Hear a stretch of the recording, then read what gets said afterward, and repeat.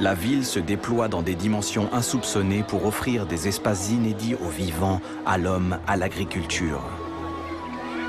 Elle invente au passage les stratégies que le monde entier lui emprunte. Cette ville d'ingénieurs et de créatifs est devenue capable de fabriquer de la nature avec le même sérieux qu'elle produisait hier des objets industriels. Elle réconcilie les extrêmes. La civilisation de demain sera urbaine. Grâce à New York, elle pourrait être aussi naturelle.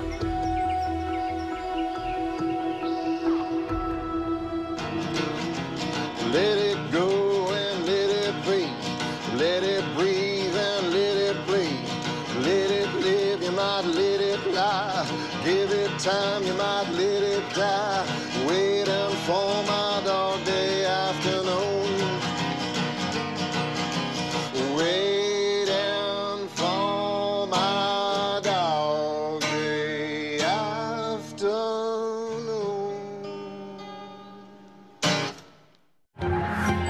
Vendredi prochain, Naturopolis se rendra à Paris afin de voir comment la capitale française se mobilise pour un avenir plus vert.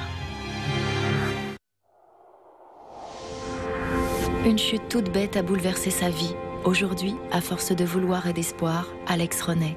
Rencontre à suivre. Cette région entre le Tigre et le